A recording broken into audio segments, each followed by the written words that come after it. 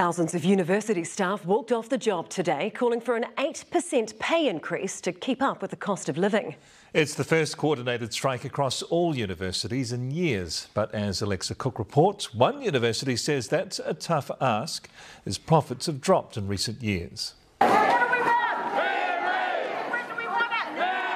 A sea of staff making their voices heard with a message for Massey's Vice Chancellor. During this global cost of living crisis, Jan, it's payback time.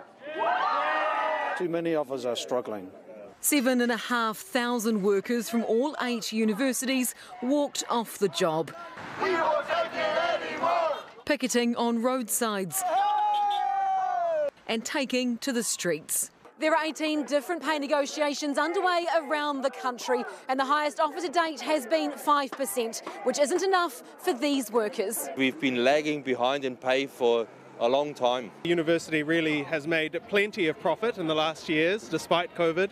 That's because of our staff who've worked hard to keep that going. All but one university declined an interview, that Vice Chancellor refuting those profits. The universities have suffered over the past uh, two or three years a substantial drop in income. And it's very unfortunate that that's occurred at a point when inflation has been high. Inflation driving these staff members to the streets, even if it disrupted classes. It's going to have a significant disruption. Lectures are cancelled, tutorials are cancelled, most of the library staff are going out. We're not keen about that. We don't do that lightly. We'd rather be in the classroom. I feel undervalued and utterly disrespected by those at the top of this university.